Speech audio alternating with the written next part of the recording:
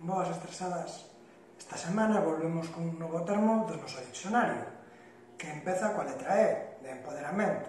Como costume, buscámoslo na RAC, pero como non aparece empoderamento, collemos e buscamos o seu verbo, empoderar. Ups, este verbo non se atopa no noso diccionario. Bueno, que llevamos facer? Entonces iremos a RAE.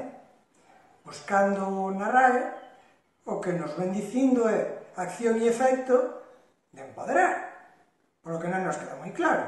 Así que vamos a buscar o que significa empoderar. Entón, que é iso de empoderar, según RAE? Facer forte ou poderoso a un grupo social desfavorecido. Estes da RAE, a verdade é que non se matan moito. E digo estes porque mulleres, moitas, moitas, non é que haxa. En realidade, Nos a que nos referimos é a seguinte definición de Marcela Lagarde, que paso a ler.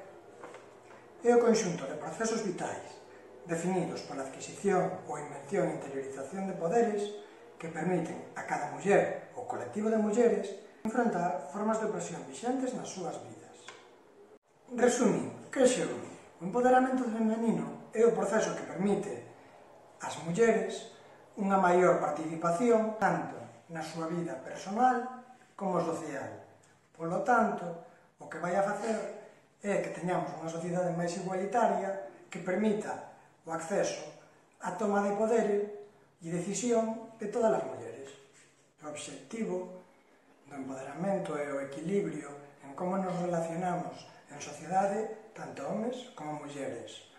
Ata aquí o vídeo de hoxe e voltamos a próxima vez ao noso diccionario co seguinte palabra. 加油！